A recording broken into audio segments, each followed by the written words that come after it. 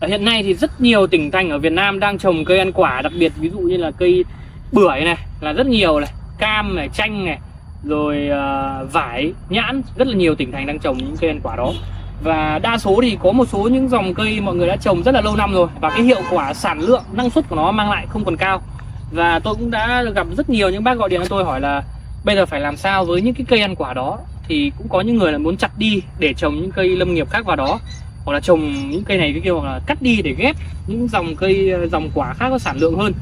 Nhưng mà tuy nhiên thì có một cái phương án để chúng ta có thể không cần loại bỏ những cây ăn quả đó mà vẫn còn rất là hiệu quả, chúng ta có thể giữ lại, lấy ngắn nuôi dài rất tốt, đó chính là cây đàn hương trắng Ấn Độ. Đây là một, tại sao tôi lại nói như vậy? Bởi đây là một dòng cây bán ký chủ và nó bắt buộc phải có một cây ký, một cây chủ ở bên cạnh. Để cái rễ con nó sẽ bám vào cái rễ cái của cây chủ để nó hút những cái chất vi lượng và trung lượng và nó sẽ nuôi và tạo lõi sẽ tốt hơn. Đó đây là một cây nó có cái cái phát triển nó như vậy khá là hay. Và lại đặc biệt là phù hợp đối với Việt Nam chúng ta. Hàng năm chúng tôi làm mấy chục vạn cây đàn hương trắng Ấn Độ cơ uh, ờ, bản chất tại sao nó lại phù hợp với Việt Nam? Bởi vì Việt Nam chúng ta trồng cây ăn quả rất nhiều rất nhiều. Và à, tôi cũng đi một số các tỉnh như là ví dụ ở dưới ở trên vùng cao cũng có những tỉnh tuyên quang yên bái hay là dưới hà nội hà đông có một số những nơi trồng bưởi cực kỳ nhiều. Trồng đến là hàng vài chục thậm chí vài trăm hecta bưởi và đang có cái muốn là chặt bỏ đi nhưng như thế thì hơi phí phạm. Cái công chặt đi rồi công trồng cây mới vào là cũng rất là vất. Thì thay vào đó chúng ta có thể lựa chọn trồng đàn hương, xen giữa những cây ăn quả đó để nó có thể phát triển một cách tốt nhất. Và những cây ăn quả đó chúng ta vẫn có thể thu hoạch ngắn hạn ở vài năm tiếp theo. Và sau này kể cả nó kém đi thì chúng ta có thể cắt đi, chúng ta ghép những cái nguồn sản lượng cây mới vào tốt hơn.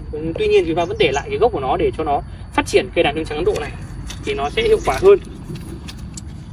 Ờ, đàn hương trắng ấn độ thì thời gian thu hoạch của nó rơi vào khoảng từ 13 năm là có thể thu hoạch được đối với cây đàn lưng trắng ấn độ. À, thằng này thì nó xuất phát điểm từ bên ấn độ. À, tên khoa của nó là Santalum album L thì nó xuất phát từ xứ nóng. À, tuy nhiên nên là nó cũng phù hợp với đa số các tỉnh thành ở Việt Nam chúng ta. À, chỉ tránh mỗi một số những tỉnh à, và địa phương ở những cái vùng nó cao và nó lạnh quá dưới 5 độ C thì nó sẽ bị ngừng phát triển và thậm chí là chết cây. Đó và ở đây thì mọi người thấy ngay từ bầu này đã có những cây ký chủ ngắn hạn và chuyển tiếp như này rồi. Đây chúng tôi sử dụng cây dền nhật. Cái dền nhật này nó có một cái bộ rễ khá phù hợp cho cây đàn hương trắng. Thì ngoài ra sau này chúng ta trồng chúng ta có thể thêm những cây cỏ lạc vào nữa thì nó cũng khá là tốt. Đều là những cây họ đậu để bổ sung vi lượng trung lượng cho thằng à, đàn hương trắng ấn độ. Khoảng cách trồng thì tùy theo à, nếu các bác trồng nguyên đàn hương ấy, thì chúng ta có thể trồng với khoảng cách 3 mét nhân 4 mét.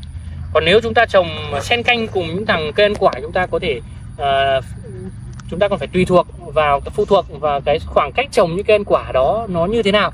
Thì đa số những cây ăn quả chúng ta không trồng dày à, đa số những cây ăn quả chúng ta trồng khoảng từ 4 mét cho đến 5 mét một cây thì hoàn toàn có thể trồng xen vào giữa những uh, cây đàn hương trắng Ấn Độ này khá là phù hợp. Đây là một cái biện pháp để chúng ta không cần phải chặt bỏ hay là đánh bỏ đi những cây ăn quả. Như thế thì nó thứ nhất là nó cũng hơi phí phạm và thứ hai là nó cũng tốn công tốn sức và tốn kể cả những chúng ta không làm chúng ta thuê người thì cũng rất là tốn chi phí để có thể là là là là, là loại bỏ những cây đó để trồng cây mới vào. Nó khá là tốn. À, đàn hương trắng này thì à, mọi người yên tâm. Tại à, công ty giống cây trồng nông nghiệp tam đảo của tôi thì luôn được nhân giống bởi những nguồn cây bố mẹ đã tạo lõi rất là tốt và không sử dụng những thuốc kích thích nảy mầm. Hiện tại thì rất nhiều nơi sử dụng thuốc kích thích nảy mầm này để bán với cái giá cực kỳ rẻ. Họ bán với cái giá chỉ 50 nghìn một cây đàn hương trắng thì tôi cũng không hiểu là lấy chất lượng ở đâu ra để đảm bảo cho mọi người. Và chúng ta nên lựa chọn được những đơn vị uy tín. Ờ, đàn hương trắng thì mới mới phát triển ở Việt Nam từ những năm 2016 27 mà thôi, nó cũng chưa phải là là là là lâu, mà cũng không phải là mới. Và chúng ta cũng nên tìm hiểu thật kỹ về thằng này trước khi chúng ta mua. Hiện trạng cây giống của chúng tôi thì cao trung bình phát triển từ 40 cho đến 50 phân. Và cây cực kỳ đảm bảo, khỏe như này, mọi người có thể mua về chúng ta trồng luôn được rồi, không lo. Về việc xử lý đất thì chúng ta cũng nên rắc vôi bột trước 7 ngày trước khi trồng để chúng ta có thể loại bỏ được những cái nấm và sâu bệnh ở trong đất. Thằng này thì sợ nhất là nấm bệnh, nên chúng ta cũng phải xử lý cái đất làm sao đảm bảo nhất và chúng ta trồng vào ngày nắng, không nên trồng vào ngày mưa, nó sẽ à, tăng cái, xả, cái, cái, cái khả năng nấm bệnh rất là cao. Đó là một số những thông tin chia sẻ về cái đàn hương trắng Ấn Độ để chúng ta lựa chọn trồng chuyển đổi cây trồng trong những năm 2024 năm nay và trong những năm tiếp theo. Và mọi người nếu có nhu cầu trồng và phát triển cần tư vấn về cây đàn hương trắng Ấn Độ thì hãy liên hệ trực tiếp cho tôi là Hải. Theo số điện thoại đính kèm ở dưới video 0397 928 951 hiện tại tôi là giám đốc điều hành trực tiếp công ty giống cây trồng Lâm nghiệp Tam Đảo một trong đơn vị hàng đầu tại Tam Đảo Vĩnh Phúc à, và miền Bắc. À, hãy bấm đăng ký kênh để ủng hộ kênh của tôi. Xin chào và hẹn gặp lại ở những video tiếp theo.